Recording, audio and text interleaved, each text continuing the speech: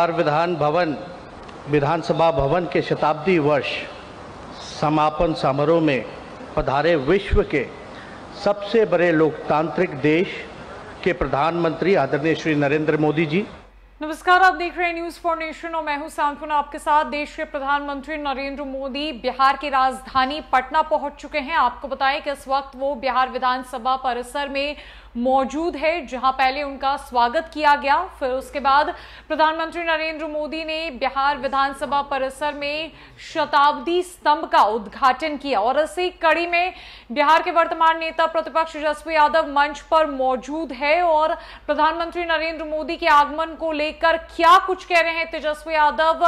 छोड़ जाते हैं उनके पूरे भाषण के साथ। बिहार विधान भवन, विधानसभा भवन के शताब्दी वर्ष समापन समारोह में पधारे विश्व के सबसे बड़े लोकतांत्रिक देश के प्रधानमंत्री आदरणीय श्री नरेंद्र मोदी जी, विश्व के,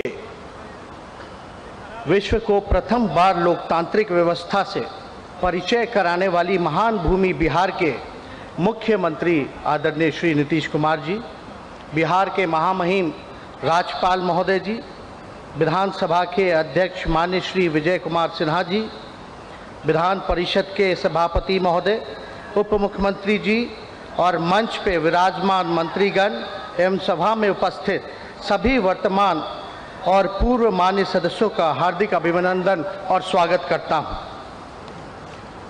बिहार लोकतंत्र की जननी है।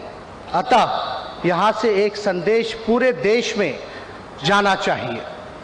हम अलग अलग दलों से इस विधानमंडल में हैं, लेकिन हमारी वैचारिक प्रतिस्पर्धा और राजनीतिक शत्रुता में नहीं बदलनी चाहिए।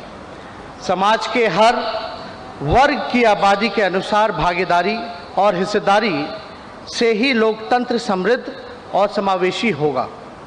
माननीय प्रधानमंत्री जी जैसा मैंने पहले कहा कि हमारे राज्य के वैशाली से ही लोकतंत्र बाकी जगहों पर प्रसारित हुआ।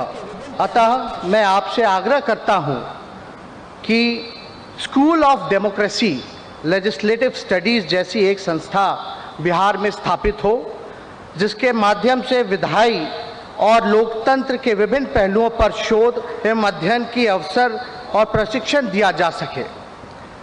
विभिन्न पहलुओं पर शोध और अध्ययन के अवसर और प्रशिक्षण दिया जा सके। पूरे देश के जनप्रतिनिधियों, युवाओं और संबंधित कर्मचारियों को इससे लाभ मिलेगा। आशा है आप, आशा है आप हमारी मांग को पूर्ण करेंगे।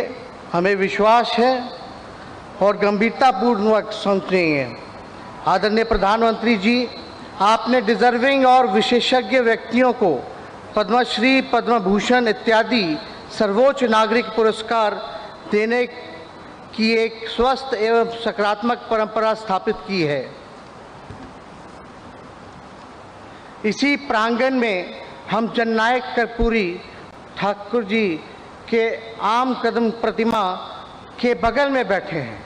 हमारी मांग है कि जननायक कर्पूरी ठाकुर जी को भारत रत्न देकर इस शताब्दी सर्व शताब्दी वर्ष समारोह एवं देश के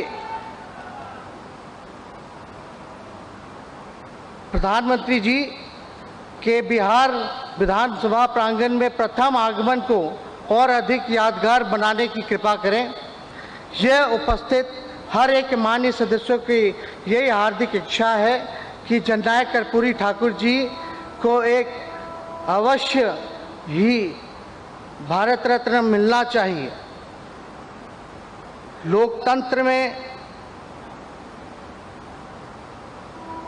समक्ष कई चुनौतियाँ हैं, लेकिन हम सामूहिक प्रयास और संकल्प से जनतंत्र को धनतंत्र और छलतंत्र से बचा सकते हैं। हमारे पुरखे ने लोकतंत्र की